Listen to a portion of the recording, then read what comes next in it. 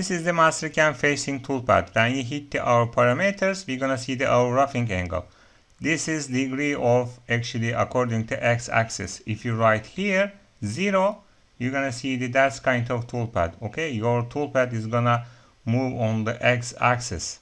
If you turn to the, your parameters and if you change your roughing angle like this one 35 and you're gonna get better surface roughness and in comparison to zero. Thank you very much.